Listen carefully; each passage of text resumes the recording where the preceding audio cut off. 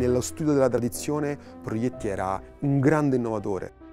Non si è fidato solamente del suo talento gigantesco, ma ha continuato ad allenarlo per tutta la vita.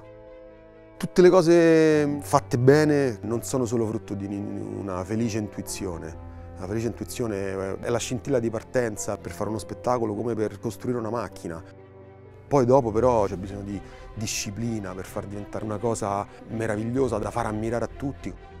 Quella è la, è la grande lezione che ci, ha, che ci ha lasciato, che non, non basta un talento a fare un grande uomo di spettacolo.